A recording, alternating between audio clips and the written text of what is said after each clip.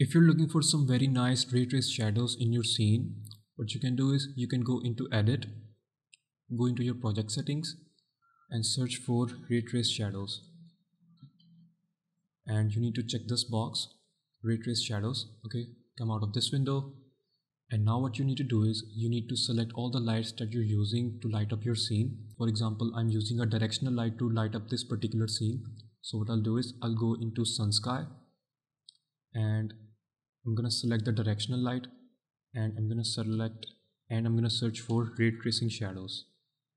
Okay and here it is cast ray trace shadows. I'm gonna change this to enabled.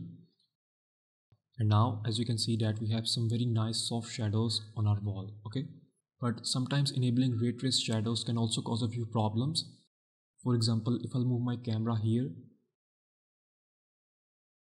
and select these two lights where's the other one? There it is.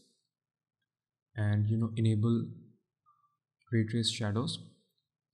And if I move my camera in here you can see that we have some weird looking shadows or artifacts on this particular object.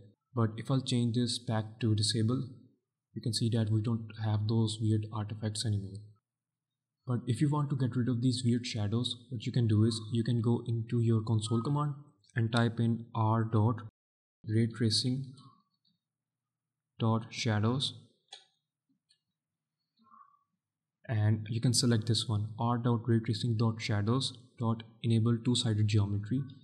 Add a single space and type in 0 and press enter. And now you can see that we don't have those weird shadows anymore